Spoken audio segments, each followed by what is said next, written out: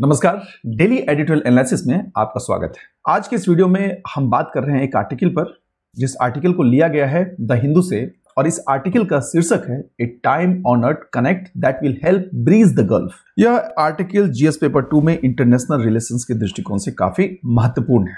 क्यों महत्वपूर्ण है? आइए पहले देखते हैं इससे संबंधित इस सवाल को। सवाल यहाँ पर, कि ओमान पश्चिम एशिया में भारत का प्रवेश द्वार है। कैसे? इसी प्रश्न के इर्द गिर्द हम देखते हैं कि जो आगे के आर्टिकल के सार हैं, वो क्या है? तो चलिए शुरुआत करते हैं। सबसे महत्वपूर्ण बात यहाँ पर यह है कि ओमान के सुल्तान, जिनका नाम है सुल्तान हैथम बिन तारीख ये 16 दिसंबर से भारत की राजकीय यात्रा पर हैं। आप इनको चित्र में देख रहे हैं। और जनवरी 2020 में ओमान के सुल्तान, जो सुल्तान कबूस थे, उनका जब निधन हुआ था तो उनके बाद सुल्तान हैथम बिन तारीख ने ओमान का पदभार संभाला है। और उसके बाद से यह इनकी पहली भारत यात्रा है। हाँ अगर हम भारत के प्रधानमंत्री की बात करें तो प्रधानमंत्री नरेंद्र मोदी ने फरवरी 2018 में अपनी पहली ओमान की यात्रा की थी। और उसको ऐतिहासिक यात्रा करार दिया गया था, क्योंकि उस यात्रा के दौरान भारत और ओमान के बीच में व्यापार, रक्षा और सुरक्षा, इन जैसे महत्वपूर्ण मुद्दों पर समझौते हुए थे। अब हम एक नज़र अगर डालते हैं ओमान की भौगोलिक स्थिति पर तो हम क्या देख रहे हैं कि अरब खाड़ी क्षेत्र में जो ओमान है, वह भारत का निकटतम पड़ोसी देश है। पहली बात तो यहाँ पर ये। दूसरी बात, ओमान, सऊदी अरब अमीरात और सऊदी अरब। तो ये जो हमें तीनों के तीनों दिख रहे हैं, ये ओमान खाड़ी क्षेत्र में भारत के प्रमुख रणनीतिक साझेदारों की एक तिकड़ी के रूप में ये उसको पूरा करते हैं। उसके अलावा, अगर हम और थोड़ा सा मैप में देखें तो हम यहाँ पर क्या देख रहे हैं? हम देख रहे हैं यहाँ पे पर्सियन गल्फ और यहाँ पर ये ओमान है और गल्फ ऑफ़ ओमान। और फिर हम अगर इस तरफ़ से यमन की तरफ़ से देखें तो यहाँ हमें दिख रहा है रेड सी और गल्फ ऑफ़ अदन। तो मतलब यहाँ कहने का यह है कि जो प्रमुख ओमानी बंदरगाह है, उसके अरब सागर के साथ साथ ओमान की खाड़ी के साथ साथ फारस की खाड़ी और अदन की खाड़ी की ओर जो जाने वाली तट रेखा है, उससे सटे होने के कारण ओमान का जो रणनीतिक स्थान है वह भारत के लिए काफ़ी महत्वपूर्ण हो जाता है। भारत और ओमान के जरा संबंधों पर एक नज़र डालते हैं। तो शुरुआत करते हैं शुरू से। ओमान के शासक परिवार जो है, वो हमेशा से भारत के साथ निकट रहे हैं। सुल्तान कबूस की अगर बात की जाए तो भारत के प्रति उनका रुख हमेशा से अनुकूल रहा है और उन्होंने भारतीय कंपनियों, भारतीय पेशेवरों और कई परियोजनाओं को ओमान में आमंत्रित किया है। और यहाँ तक कि भारत और ओमान के लोगों के बीच भी काफ़ी मधुर संबंध रहे उसका एक कारण यह भी है कि लगभग सात लाख लोगों का एक बड़ा भारतीय समुदाय ओमान में रहता है। तो इसलिए भारत और ओमान के बीच लोगों के आधार पर भी काफ़ी महत्वपूर्ण संबंध है। शीत युद्ध के युग के दौरान की बात करते हैं। शीत युद्ध का मतलब यहाँ पर यह हो गया कि एक ऐसी वैश्विक व्यवस्था जो चली थी 1945 से उन्नीस सौ इक्यानवे के बीच में, जहाँ पर कि विश्व का ध्रुवीकरण हुआ था। एक तरफ़ था यूनाइटेड स्टेट्स ऑफ़ अमेरिका और दूसरी तरफ़ था यूनियन सोवियत सोशलिस्ट रिपब्लिक और ये उन्नीस तक इसलिए चला क्योंकि उसके बाद सोवियत संघ का विघटन हो गया था। तो उस युग की बात यहाँ पर हो रही है, जबकि अरब दुनिया की अगर हम बात करें तो भारत के प्रति ना होकर पाकिस्तान के प्रति उनका रुख काफ़ी नरम था और वे उसके समर्थक भी थे। लेकिन इस दौरान भी एकमात्र ओमान ही एक ऐसा खाड़ी देश था, जिसने भारत के लिए अपने दरवाजे खुले रखे थे। और तो और, हमेशा से यह देखा गया है कि संघर्षग्रस्त क्षेत्र में ओमान एक शांति का द्वीप रहा है, शांति का दूत रहा है। वह कैसे? वह इसलिए क्योंकि ओमान की जो विदेश नीति है या जो ओमान की वैदेशिक नीति है, वह संयम और मध्यस्थता के इन दोहरे पहलुओं पर आधारित है। वह इस तरीके से कि ईरान के प्रति उसका हमेशा से दृष्टिकोण व्यवहारिक रहा। है साथ ही साथ पश्चिमी शक्तियों और खाड़ी सहयोग परिषद में शामिल जो देश हैं, उनके साथ भी वह अपने आप को संतुलित करके रखता है और यह हमेशा से सुनिश्चित करता है कि जो स्ट्रेट ऑफ़ हॉर्मुज है या हॉर्मुज जलडबरू मध्य है, वह कभी बंद ना होने पाए। इसमें हमने क्या देखा? जीसीसी या खाड़ी सहयोग परिषद तो इसमें छह देश है, जो आप मैप में देखिए। क्या देख रहे हम इसमें? Saudi Arab Bahrain, Kuwait, Qatar, UAE और ओमान। अब हमने जो यहाँ पर बात की कि अलग अलग देशों के साथ वो हमेशा से संयम और मध्यस्थता के साथ रहा है ओमान तो देखिए कैसे। सबसे पहली बात यहाँ पर यह है कि जुलाई 2015 में जब ईरान परमाणु समझौते की बात हो रही थी तो उसमें भी ओमान ने काफ़ी महत्वपूर्ण भूमिका निभाई थी। उसके बाद आगे देखिए, खाड़ी सहयोग परिषद के आधार पर जब कतर के साथ जो अन्य देश है जब उन्होंने राजनीतिक गतिरोध पैदा किया था तो उस राजनीतिक गतिरोध के दौरान भी ओमान ने जून 2017 में कतर के साथ राजनयिक संबंध तोड़ने में सऊदी अरब और अन्य देशों के साथ शामिल होने से इनकार कर दिया था। अब खाड़ी सहयोग परिषद में कतर को इसलिए अलग किया जा रहा था क्योंकि सऊदी के नेतृत्व वाले इस गठबंधन ने कतर पर आतंकवाद का समर्थन करने का आरोप लगा था। गठबंधन का यह कहना था कि कतर ने खाड़ी सहयोग परिषद के सदस्यों के साथ 2014 का जो समझौता हुआ था, उसका उसने उल्लंघन किया था। लेकिन यह ओमान ही था, जिसने कि सबके बीच एक बेहतर मध्यस्थता को बनाया। उसके अलावा 2019 में जब फारस की खाड़ी संकट उत्पन्न हुई थी उस समय जब संयुक्त राज्य अमेरिका और ईरान दोनों एक दूसरे के साथ सैन्य संघर्ष की कगार पर आ गए थे, तब ओमान ने दोनों देशों के बीच तनाव को कम करने में अपनी महत्वपूर्ण भूमिका निभाई। अब दोनों देशों के बीच मतलब संयुक्त राज्य अमेरिका और ईरान के बीच में सैन्य संघर्ष की स्थिति इसलिए उत्पन्न हुई थी क्योंकि 13 जून 2019 को ओमान की खाड़ी से यात्रा के समय अमेरिकी दल पर ईरान के द्वारा हमला किया गया था। उसके बाद अमेरिकी राष्ट्रपति ने ईरान के खिलाफ खाड़ी क्षेत्र में रॉकेट दागे और अमेरिकी रक्षा और प्रतिरोध बढ़ाने की योजना को भी उसने मंजूरी दी थी। अब सितंबर 2020 में अब्राहम समझौता हुआ और इस अब्राहम समझौते में तीन महत्वपूर्ण देश हैं इसराइल यूएई और बहरीन। लेकिन इससे काफ़ी पहले इजरायली प्रधानमंत्री बेजामिन नेतन्याहू ने अक्टूबर 2018 में ओमान का एक औचक दौरा किया था, जिससे एक बार फिर इस क्षेत्र में ओमान की क्या रणनीतिक महत्व है और ओमान का क्या महत्व है, वह खुद ब खुद रेखांकित होता है। अभी जिस अब्राहम समझौते की हमने बात की, उस अब्राहम समझौते ने यह निर्धारित किया यूएई और बहरीन इसराइल में अपने अपने दूतावास को स्थापित करेंगे और पर्यटन, व्यापार और सुरक्षा सहित कई क्षेत्रों में इसराइल के साथ मिलकर काम करेंगे।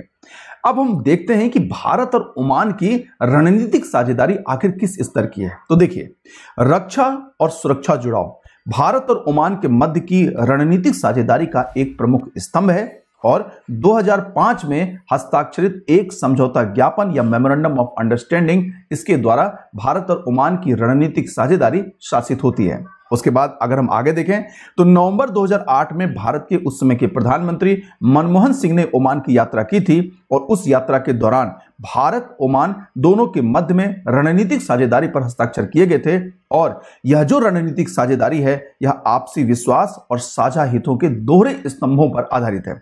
फिर अगर हम आगे देखें तो ओमान पहला खाड़ी देश है, जिसके साथ भारत के रक्षा बलों के सभी तीनों अंग संयुक्त अभ्यास करते हैं। बात हो रही यहाँ पर किसकी? स्थल की, वायु की और नौसेना की। फिर अगर हम आगे देखते हैं तो 2012-13 से एक भारतीय नौसैनिक जहाज़ समुद्री डकैती विरोधी अभियानों के लिए ओमान की खाड़ी में वह ड्यूटी पर लगातार बना हुआ है। वहीं फिर देखिए कि ओमान भारतीय सैन्य विमानों द्वारा भी उड़ान और पारगमन की अनुमति दे दी है। उसने मतलब यह है कि जो भारतीय सैन्य विमान है, वह ओमान के आसपास के क्षेत्रों में आराम से जा सकते हैं। फिर भारत के प्रधानमंत्री मोदी ने जो 2018 की ओमान की यात्रा की थी तो उस यात्रा के दौरान द्वीकम बंदरगाह पर एक मेमोरेंडम ऑफ़ अंडरस्टैंडिंग पर हस्ताक्षर किए गए थे और इसके बाद यह जो डीकम बंदरगाह का क्षेत्र है, उस क्षेत्र में संचालित भारतीय नौसैनिक जहाजों को बेसिंग की सुविधाएँ ऑपरेशनल और अन्य रसद सुविधाएँ, यह समझौता प्रदान करता है। अब जरा एक नज़र ड्यूकम बंदरगाह पर हम डालते हैं, मैप के थ्रू। ये देखिए है पोर्ट ऑफ़ ड्यूकम यहाँ पर ये ओमान है। तो हम यहाँ पर क्या देख रहे हैं? यह ओमान के दक्षिण पूर्व में स्थित है और यह जो बंदरगाह है, यह हिंद महासागर के बीच में जो होरमुज है, उस होरमुज जल डबरू मध्य के बाहर यह बना हुआ है और यह बंदरगाह अंतर्राष्ट्रीय जलमार्ग में खुलता है और एशिया और यूरोप के बीच अंतर्राष्ट्रीय व्यापार मार्ग के आसपास स्थित है। तो क्या इसकी मज़बूत और क्या इसकी अच्छी रणनीतिक स्थिति है? आगे देखिए। फिर जून 2019 में जब फारस की खाड़ी संकट उत्पन्न हुई थी तो उस दौरान भारतीय नौसेना ने भारतीय ध्वज वाले जहाजों के सुरक्षित मार्ग को सुनिश्चित करने के लिए ऑपरेशन संकल्प शुरू किया था और यह भी अक्सर ओमान के तट से संचालित हुआ था। यह भारत और ओमान के बीच की रणनीतिक साझेदारी। उसके बाद ओमान उन कुछ देशों में से एक था, जिन्हें इस साल की शुरुआत में भारत ने अपने जी ट्वेंटी अध्यक्ष पद के लिए अतिथि राष्ट्र के रूप में आमंत्रित किया था।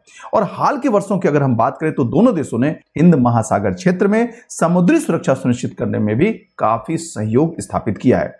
अब हम एक नज़र डालते हैं इस रणनीतिक साझेदारी में व्यापार और वाणिज्य के दृष्टिकोण पर। तो देखिए कि वित्तीय वर्ष 2022-23 के दौरान दोनों देशों के बीच का द्विपक्षीय व्यापार 12.388 बिलियन डॉलर तक पहुँच गया और ओमान में 6000 से अधिक भारत ओमान संयुक्त उद्यम है, जिनका अनुमानित निवेश 7.5 बिलियन डॉलर से अधिक है। उसके बाद वर्ष 2022 के लिए ओमान के कच्चे तेल निर्यात के लिए चीन के बाद भारत दूसरा सबसे बड़ा बाज़ार है।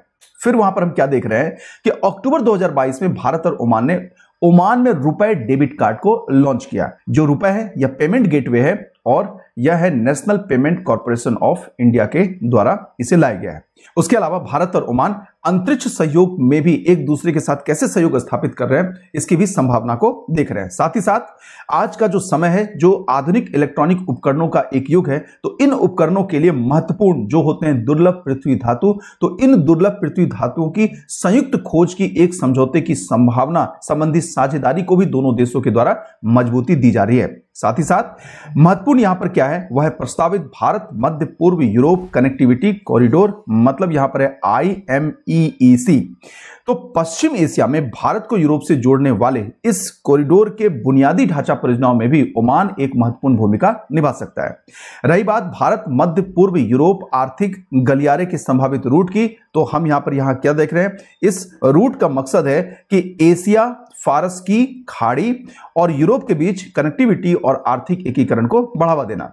और इस गलियारे में अगर हम देखें तो भारत से हम क्या देख रहे हैं? संयुक्त अरब अमीरात, फिर सऊदी अरब, और सऊदी अरब से फिर जॉर्डन इसराइल और फिर आगे हम देख रहे हैं ग्रीस के ज़रिए यूरोप तक यह कॉरिडोर प्रस्तावित है। और इसमें दो अलग अलग गलियारे हैं। एक है भारत से अरब की खाड़ी तक का ईस्ट कॉरिडोर और फिर दूसरा है अरब की खाड़ी को यूरोप से जोड़ने वाला नॉर्थ कॉरिडोर और इसी में एक है महत्वपूर्ण तथ्य यहाँ पर कि भारत स्थित एक निजी कंसोर्टियम है, जिसका नाम है साउथ एशिया गैस इंटरप्राइजेस तो इसकी ओर से गैस के हस्तांतरण के लिए ओमान से भारत तक 1400 किलोमीटर लंबे गहरे समुद्र में पाइपलाइन बिछाने का प्रस्ताव है। तो दोनों देशों के बीच में यह भी जो प्रस्तावित परियोजना है, अगर इस पर काम हो जाता है तो यह भी काफ़ी महत्वपूर्ण रणनीतिक साझेदारी होगी भविष्य के लिए। अब हम आते हैं निष्कर्ष पर। निष्कर्ष के रूप में यहाँ पर यह है कि पश्चिम एशिया के लिए भारत का प्रवेश द्वार है। कैसे? तो एक एक जो पॉइंट्स हैं यहाँ पर, वो काफ़ी महत्वपूर्ण है, जरा ध्यान से सुनिएगा। सबसे पहली बात तो ये कि भारत क्या चाहता है? भारत अपना एक व्यापक वैश्विक दृष्टिकोण जो है उसको प्रसार करना चाहता है। साथ ही साथ, वो अपने पड़ोस का भी विस्तार करना चाहता है। तो इसके लिए भारत पश्चिम एशिया में गहरी भागीदारी और सहयोग की तलाश कर रहा है, जिसमें ओमान एक महत्वपूर्ण स्तंभ है। फिर अगर हम आगे देखें तो जो क्षेत्र है, वो जो खाड़ी देश है, वहाँ पर सुरक्षा चुनौतियों का भारत पर व्यापक प्रभाव पड़ता है। इसलिए क्षेत्र में किसी भी स्थिरता का वहाँ पर काम करने वाले लाखों भारतीयों की सुरक्षा, साथ ही साथ भारत की ऊर्जा सुरक्षा और जो लगातार व्यापार संबंध है, उस पर भी सीधा असर पड़ता है। तो यह ना हो, इसके लिए भी ओमान महत्वपूर्ण भूमिका निभाता है। साथ ही साथ, यह जो क्षेत्र है खाड़ी का वहाँ भारत का सबसे पुराना रणनीतिक साझेदार और निकटतम पड़ोसी है कौन? ओमान। और ओमान इस क्षेत्र में सभी महत्वपूर्ण समूहों का एक अभिन्न अंग भी है। जैसे अभी हमने क्या देखा कि जीसीसी की बात हो रही, उसका इस्लामिक सहयोग संगठन की, अरब लीग की तो इस दृष्टिकोण से भी ओमान काफ़ी महत्वपूर्ण है। साथ ही साथ दोनों देश मतलब भारत और ओमान, दोनों देश खुद को शांति का दूत मानते हैं और दुनिया में सभी विचारधाराओं के बीच वो सद्भाव को स्थापित करते हैं। तो दोनों की जो मेंटेलिटी है, दोनों के जो अप्रोच है और दोनों की जो विचारधारा है, वह काफ़ी एक दूसरे से मिलती है। इसलिए ओमान पश्चिम एशिया के लिए भारत का अपना एक प्रवेश द्वार है और इसराइल और हमास के बीच में जो वर्तमान में युद्ध चल रहा है और इस युद्ध के वातावरण में ओमान के शासक का भारत की राजकीय यात्रा और भी महत्वपूर्ण हो जाती है। तो इस प्रकार डेली एडिटोरियल एनालिसिस से संबंधित आज की इस वीडियो को हम यही विश्राम देते हैं। फिर मिलेंगे अगले वीडियो में। आपके साथ नमस्कार। Don't forget to like, share and subscribe to our channel and press the bell icon to never miss an update.